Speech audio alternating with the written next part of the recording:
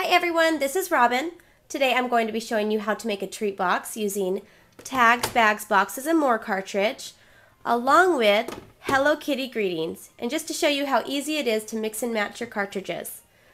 So what I'm going to do first is I have my 12 by 12 sheet of pattern paper. This is by K & Company. Just load it into your paper. Make sure you only have one mat.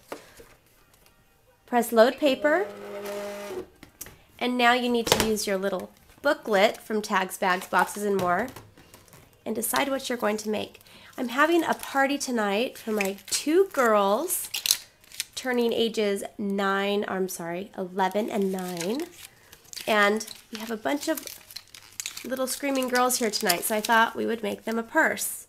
So I'm going to make that purse right here.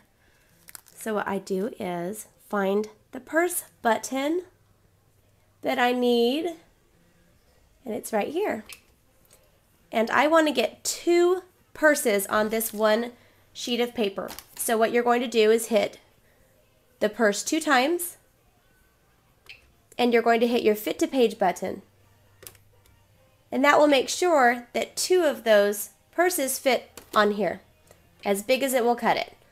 So calculating fit to page, they're cutting at five and a half inches which also means if you have the original Cricut machine, you can cut one of these purses at five and a half inches on your machine. This is just showing you how to use the Cricut expression with this cartridge. I need to pull this out of the way. Okay, I need to make 20 of these tonight. I'm not going to make 20 right now, but I'll just show you how to make two really quickly. Okay, while that's cutting, what I've done on my second mat is get my paper ready for the Hello Kitty greetings that I'm going to be using. On that cartridge, I'm going to use the cute little butterfly if you look on the back. The cute little butterfly, just really keeping it simple. And girls that age just really love Hello Kitty. So this is just a wonderful cartridge to use.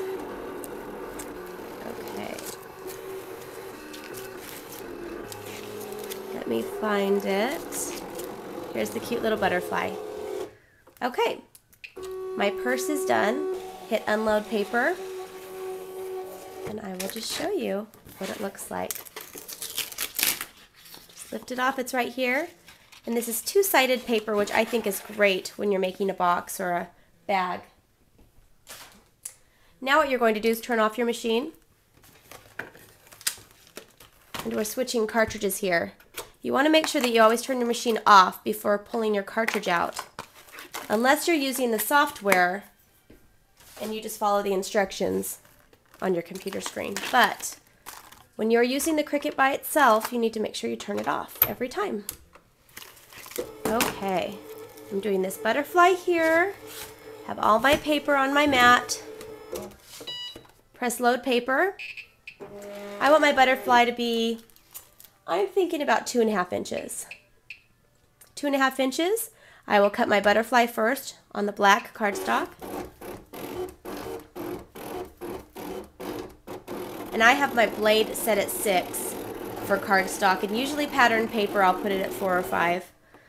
Move your arrow, your blade over to the pink. Now the pink is going to be the wings on my butterfly.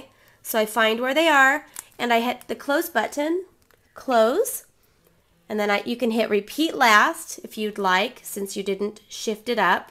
Hit repeat last, and it should cut the butterfly wings for you. If you're unsure of what it's going to cut, if you wait a few seconds, it will show up in your little screen right here. Okay, now I'm going to pull my blade over to the green paper and now I'm going to cut the inside. This is also the close button, but it's shift. So I'm going to hit shift and you have to hit the butterfly and that'll cut my inside. Now let's make this into a really cute project. What you're going to do first is you're going to score your little bag and there's little notches that the Cricut made for you and you just use a scoring blade. You want to make sure you don't press too hard with a scoring blade because it will cut your paper and that's happened to me a lot I've learned the hard way. So what I'm doing here is just scoring, just pressing lightly, scoring and trying to make this a really quick and easy treat. Just line it up. Now to put this box together, normally I would use my ATG gun, but I'm out of tape right now and they're on back order at framingsupplies.com just in case you didn't know. The ATG Gold is on back order. Um, so I'm waiting for that and so I'm going to just use the, the red tape and the red tape is actually stronger than the ATG. So the red tape is um, supposed to be used for boxes and three-dimensional items like that. It gives it a nice secure hold. So that's a bone folder and I'm just folding it over, getting nice tight creases. This is the red tape I was talking about and it's very sticky so watch out because once it gets on something it is permanent. Okay, peel this off and then all you're going to do is line it up on the other side. Can you see that? Line it up, press it down firmly, and then I'm just going to use mono adhesive on the bottom part. This is just to kind of keep it in place. You can use the ATG gun or the sticky tape if you want to make sure that it doesn't come apart ever. I'm not putting um, that heavy of items in there, so it's okay. Okay, here's my butterfly and the wings and then I'm using my spatula. If you do not have the Cricut spatula, you are going to want it. It is awesome. I love it. I use it all the time. It just really helps you get your images off the mat without, sometimes when you use your fingernail, it will lift up part of the paper. This just is a, a clean, easy way to peel it off your mat. And I'm using the Zig two-way glue pen to just glue my items down. Just really easy to do. Really simple. I love this Hello Kitty Greetings cartridge. I actually have both of them. And I love the font too. The font is really fun and you can do really neat uh, fonts with it. I love the Hello Kitty uh, Greetings that I'm using right here because I love how it has a black it everything is not right together. It, it has like a black thick line if you look at it um, around everything, and it makes it really easy to put together.